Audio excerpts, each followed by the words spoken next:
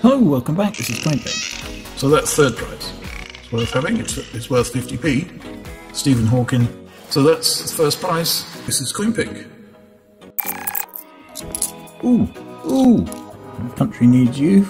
Mint have released the third and final coin. So this is the gold proof in the Dinosauria collection. 360. Yeah, I mean, this is the Hylaeosaurus. So if you want the silver proof colour, quick. Brilliant uncirculated 2020 UK 50p coin. There's the, the collection. Thanks for tuning in, thanks for watching. Take care out there, and I'll see you next time.